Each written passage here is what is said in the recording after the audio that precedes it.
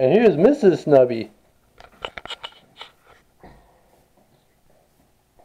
Helping to stitch a hard sole onto a moccasin. That's the next one there. We'll get back to our regularly regularly scheduled holster making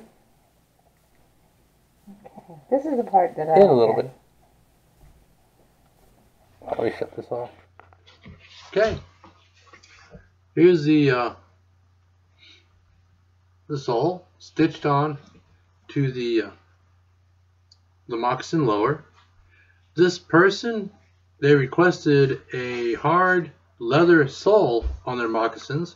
Uh, I said sure.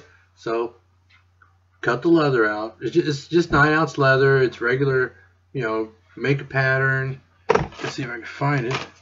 Well, it's here somewhere, but I made a pattern first, and then I traced that pattern onto a piece of leather, cut it out, did a stitch groove, um, and then after the stitch groove was on it, I glued it to the bottom here. It's already got the insole here. Glued it to the bottom, insole on one side, outsole on the other, and then punched all the holes. And you saw my wife stitching. She's wonderful. The reason she was stitching is she helped with this first one. And while she was stitching this one, I went ahead and laced it up. So it's just a regular old moccasin, nothing fancy, with a hard leather sole. And thanks to my wife,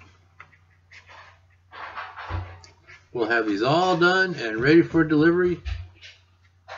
Um, today's let's see, it's Friday. It's actually it's 10 o'clock on a Friday, and we'll have these all ready for delivery by Sunday. Just got one more to lace up. Good to go, and that's done. Then it's back to the holster. Buffed it up a little bit. We'll get back to that one. Night, y'all.